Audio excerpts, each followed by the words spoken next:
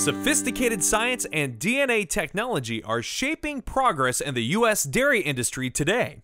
Genomic testing has come a long way since its humble beginnings more than a decade ago, says Eric Olstad of Zoetis. It's really been tested in the marketplace and it's really kind of shown itself uh, to be an effective tool. The early adopters have seen that. So now, as it's spreading more through the industry, uh, we're seeing more adaptation uh, from clients, regardless of herd size, uh, that really want to get uh, more precision like in their female uh, breeding program and what genetic progress they're making. When margins are tight, each and every cow makes a difference in overall herd productivity and profitability.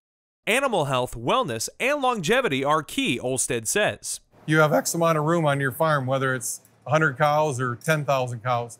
So, what kind of cow are you going to milk? You know, and what's the age of your cow? And so, we can certainly get more milk out of cows that are second calf and third calf. And so, how do we look at the, the makeup of that herd, not just genetically, but from a life cycle?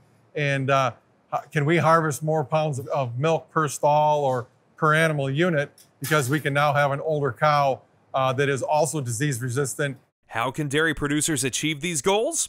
By using the Clarifide Plus genetic test from Zoetis and the related Dairy Wellness Profit Index. Together, they chart a course for healthier, more productive animals. To say, what's your average calf born in 2020 as compared to 2019, as compared to 2018?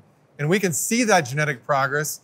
And those that have adapted this technology are really, in some cases, almost doubling that of their pure dairies. A more precise look into cow health has benefits beyond the farm as well. I think these wellness traits in certain places have been game changers.